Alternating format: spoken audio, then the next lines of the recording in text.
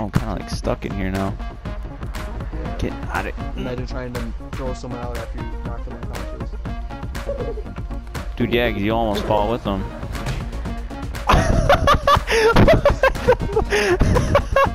Grandma coming out. Oh!